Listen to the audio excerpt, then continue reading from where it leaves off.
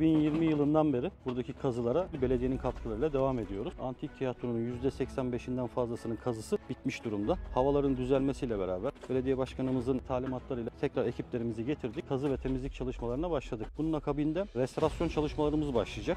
Buraya çok önem gösteriyoruz belediye olarak. Biz burayı canlandırmak için belediye başkanımızın talimatıyla bir müze yapmayı da e, planlıyoruz. Çünkü insanlar artık buraya gelmeye başladı. Burası kazı olarak Türkiye'deki 5. büyük kazı. Burada çok değerli eserler projeler bulunduğunu artık insanlar yavaş yavaş öğrenmeye başladı. Gelen insanların sayısı da artmaya başladı. Hafta içi de hafta sonu da buraya ziyaretçiler gelebilir. Çalışmalarımız hızlı bir şekilde devam edecek. Müzik